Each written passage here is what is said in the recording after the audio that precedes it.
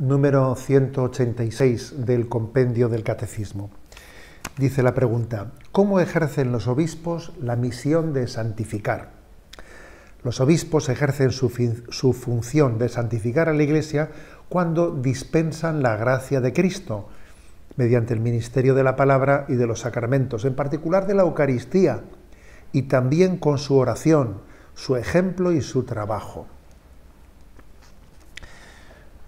Eh, los obispos eh, ejercen esa triple función como sacerdote, profeta y rey, y en los puntos anteriores hemos hablado de ese aspecto de profetismo, de la predicación de la palabra, pero ahora nos toca, nos toca hablar de, ese ministerio de la santificación, ese ministerio de la santificación en el que el obispo es eh, sacramento de ese Jesucristo sumo sacerdote, Jesucristo es el sumo sacerdote, en sí es el único sacerdote, aquel que es sacerdote, aquel que es el mediador con el Padre, que es al mismo tiempo sacerdote, víctima y altar. Se dice estas tres características de Jesús, ¿no? Él es sacerdote, al mismo tiempo es el que ofrece la víctima, pero es la víctima misma y es el altar en el que se ofrece la, la víctima. Las tres cosas es Jesús, es el sacerdote, es la víctima y es el altar. Bien, pues el, obispo está por el sacramento, por el sacramento del orden, por la plenitud del sacramento del orden, que es el episcopado, él es imagen de ese sumo sacerdote para la santificación del pueblo que le ha sido encomendado. Y está dispensando la gracia de Cristo. La gracia de Cristo está siendo dispensada por ese que es sacramento de Cristo, del sumo sacerdote, sacerdote, víctima y altar. ¿Cómo lo hace? Dice este punto que estamos comentando. Por el ministerio de la palabra, la palabra santifica. La palabra, cuando es eh, bien proclamada en nombre de Cristo, con su autoridad, ungida por el don del Espíritu, y cuando es escuchada con hambre y sed, santifica. No es una palabra que caiga y resbale, no, santifica. Y además del ministerio de la palabra, la celebración de los sacramentos, especialmente de la Eucaristía, es el momento en el que el obispo eh, está realizando lo principal que puede realizar, lo que el Señor le ha encomendado. ¿Qué es lo principal que puede hacer un obispo? Es celebrar la Eucaristía por su pueblo. A veces también eh, en la vida de un obispo no siempre sus celebraciones son eh, pues, en actos públicos eh, en los que celebra de una manera muy visible, sino a veces un obispo celebra en su capilla privada, como podéis suponer. Tendrá días en los que no tiene actos, actos públicos.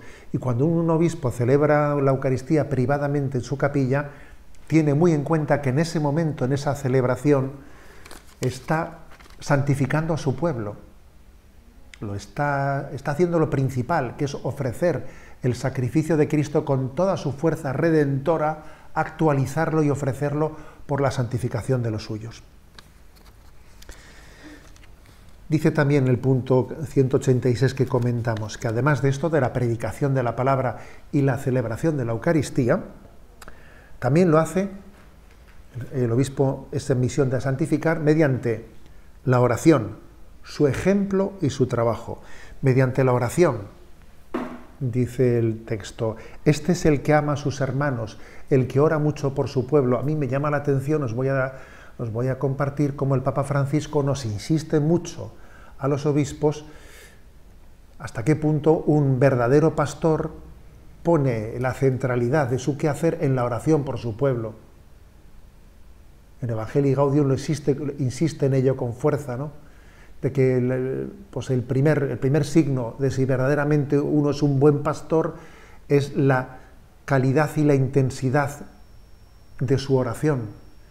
Y, y, me cuestiona esto, nos cuestiona esto a los obispos cuando el Papa nos dice tal cosa, porque es muy fácil que un obispo en medio de tantas cosas, de tantos quehaceres, pues eh, arrincone su vida de oración y la reduzca a un mínimo. No, y, y se nos recuerda que lo principal que puede hacer un obispo por su pueblo es orar por él, llevarlos en su corazón. A imagen, fijaros, a imagen de ese momento en el que Jesús, después de la última cena, después de haber instituido la Eucaristía, tiene esa oración en la que él ora al Padre por los que le han sido encomendados. Padre, te ruego por ellos, para que no se pierda ninguno de los que me has encomendado.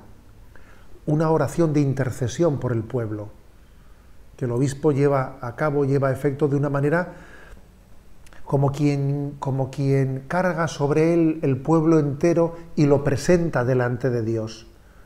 Tú me los diste, tú me los has encomendado, los pongo en tus manos, Señor, que no se pierda ninguno. segundo lugar, dice también con su ejemplo, con la oración y con su ejemplo, en el modo de ser obispo. Somos conscientes de que el aspecto del ejemplo de la vida es muy importante. ¿eh? Una frase, eh, una frase muy, muy, eh, subrayada, repetida, ¿no? del Papa Francisco es la importancia de que los pastores tengan olor a oveja. Y todos sabemos lo que supone eso. Supone un estilo de vida en el que uno no está encerrado en su despacho, ¿no? Tener olor a oveja es, caminar con el pueblo, abrir el paso, ¿no? El obispo, dice el Papa Francisco, va por delante del rebaño como el pastor con su callado, y no por detrás como el vaquero montado a caballo arreando con el chicote, ¿no? bueno, es una imagen muy gráfica, diciendo, verdaderamente tiene que ser modelo de su rebaño, va por delante caminando y los que van por detrás van viendo dónde hay que poner los pasos, ¿no? Con olor a oveja, con, con ese testimonio delante de los demás. Y además también dice, pues, santificar al pueblo con la oración, con el ejemplo y con el trabajo dice San Pablo ¿no? La segunda, en 2 Corintios 12, 15, muy a gusto me gastaré y me desgastaré por vosotros. O sea, me voy a desgastar, me voy a dar, me voy a exprimir. Un obispo está llamado a exprimir su vida, a no guardarse para sí mismo su vida, a no reservarse sus fuerzas, ¿no?